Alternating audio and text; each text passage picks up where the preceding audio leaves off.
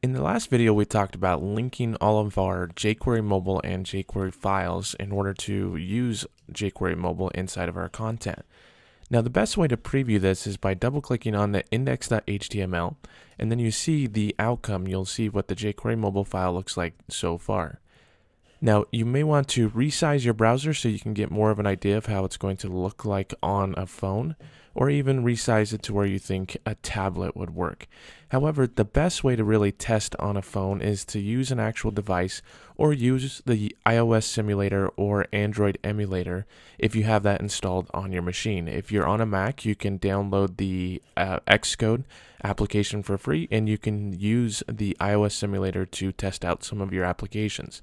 The way that you do that is by bringing up the iOS simulator, just tap on Safari, and then you can drag and drop in your index.html file and um, test it out here. However, one thing you'll notice when you're testing on a mobile device, on the Safari application, it works and it looks fine on Chrome and everything like that. However, when you take this and you place it inside of a phone, one thing we have one issue that we're running into. The content is really small. That's because we're missing a line of code. Let's go ahead and take a look at what that code is. So the issue is the on any mobile application your application looks extremely small and is really hard to read and really hard to tap on.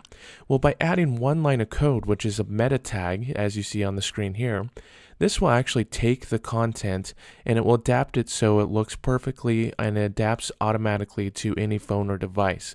That way it becomes responsive and uh, it's just a simple line of code. Once you have that line of code in your application, then you're ready to go. So let's go ahead and we're going to copy this code and we're going to paste it right inside of our HTML. Now I'm going to paste this code right behind the other meta tag that we see here. Copy and paste it and save that.